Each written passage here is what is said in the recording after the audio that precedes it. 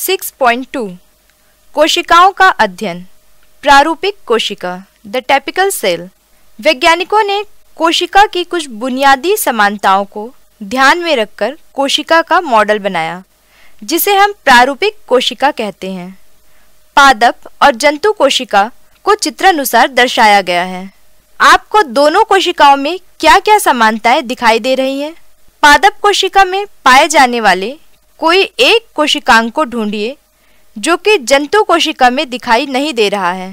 विभिन्न स्रोतों से प्राप्त जानकारी के आधार पर प्रारूपिक चित्र को बनाया जाता है। उनमें अब तक की जानकारी के अनुसार मुख्य अंगों को इस प्रकार दर्शाया जाता है कि हमें कोशिका की संरचना का आभास मिले। आजकल कई वैज्ञानिक तो एक कोशिकीय जीव को ही प्रारूपिक कोशिका मानकर अध्ययन करते हैं। इससे उन्हें कोशिका के जीवंत क्रियाशील रूप का भी आभास मिलता है।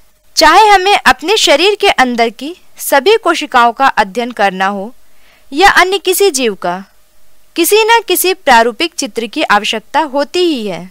क्या आप जानते हैं?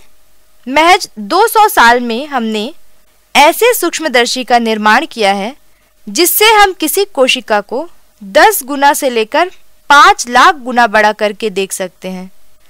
अभिरंजन तकनीक भी इतनी विकसित हो गई है कि कोशिकाओं की कार्यप्रणाली की विस्तृत जानकारी हमें मिल रही है कोशिकाओं की संरचना एवं कार्य बहुत जटिल है, तथा उनकी जानकारी अभी भी अधूरी है और उन पर शोध जारी है वैसे यह आवश्यक नहीं कि एक प्रारूपिक, पादप या जंतु कोशिका में दिखाई गई सभी रचनाएँ एक साथ सभी कोशिकाओं में पाई जाएँ।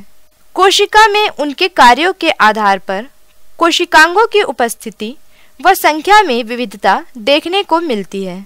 कोशिकांगों की संख्या को भी प्रारूपिक कोशिका में दर्शाया नहीं जाता है। जैसे किसी पादप कोशिका में यदि 100 क्लोरोप्लास्ट हो तो प्रारूपिक कोशिका में कुछ एक क्लोरोप्लास्ट को ही दर्शाया जाता है। कुछ कोशिकांग ज़रूर समस्त कोशिकाओं में पाए जाते हैं, पर सभी नहीं। प्रारूपिक पादप कोशिका में सदैव क्लोरोप्लास्ट दिखाई देंगे, परंतु वास्तव में सभी पादप कोशिकाओं में क्लोरोप्लास्ट उपस्थित हो, यह ज़रूरी नहीं है। इसी प्रकार प्रारूपिक कोशिका में विभिन्न कोशिकांग के आकार के अनुपात का ध्यान नहीं रखा गया है। यदि हम एक कोशिका का पैमाने के आधार पर प्रारूपिक चित्र बनाएँगे तो उसमें कोशिका एवं उसके कोशिकांगों में संबंध कुछ इस प्रकार का होगा। यदि कोशिका का व्यास 30 मीटर का हो तो लगभग 6 मीटर का केंद्रक, लगभग 1 मीटर का माइट्रोकॉन्ड्रिया और राइबोसोम जैसे छोटे छोटे अंग लगभग एक सेंटीमीटर के होंगे। ये अनुपात अलग अलग कोशिकाओं में भिन्न भिन्न होते हैं।